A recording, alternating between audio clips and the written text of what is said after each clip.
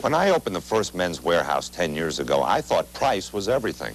I'm George Zimmer, president of the Men's Wearhouse. As discounting has caught on, I found that quality and service are as important as price. While others may sell seconds, irregulars, and old merchandise, you'll never find that at the Men's Wearhouse. What you will find is the same quality clothes sold in the finest stores for at least 20% less. I guarantee it. The Men's Wearhouse, San Jose, Mountain View, Redwood City, San Francisco, Newark, and Pleasant Hill.